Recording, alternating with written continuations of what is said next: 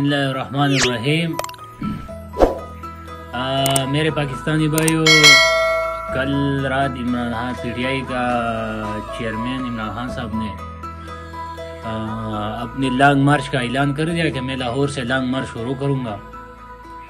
اور اپوزیشن پھر وہی بات کر رہے ہیں کہ ہم اس کا جو رانا ثنا وزیر داخلہ پر کہہ رہے کہ آپ ادھر مت چھوڑو اور یہ کرو وہ کرو۔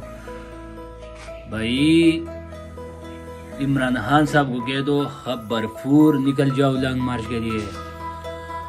کیونکہ ہم ایک ایسے ملک میں رہتے ہیں جدھر جمہوریت ہے ادھر ہم آزاد ہیں۔ ہم، اگر ہمارے کچھ یہ بڑے جو عہدوں پر لوگ بیٹھے ہوتے ہیں، اگر یہ آزاد نہیں ہے، لیکن ہم نیچے لوگ جو ہوتے ہیں، پاکستانی، وہ ہم آزاد ہیں اور آزاد زندگی گزار رہے۔ اب بات یہ ہے کہ مولانا صاحب نے کراچی سے لانگ مارچ شروع کر دیا، اسلام آباد تک آ گیا۔ بلاول صاحب نے لانگ مارچ شروع کر دیا، اسلام آباد تک آ گیا۔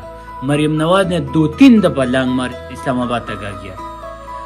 ابھی ان کو مسئلہ کیا ہے بھائی؟ کہ عمران خان تم کہتے تم لانگ مارچ نہیں کرو گے۔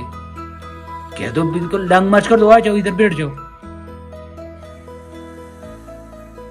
عمران خان صاحب کو پھر ابھی دو صوبوں کا آپ کے پاس حکومت ہے پی ٹی آئی کے پاس۔ خبر پور انداز میں نکل جاؤ اور اپنے حق کا مطالبہ کرو۔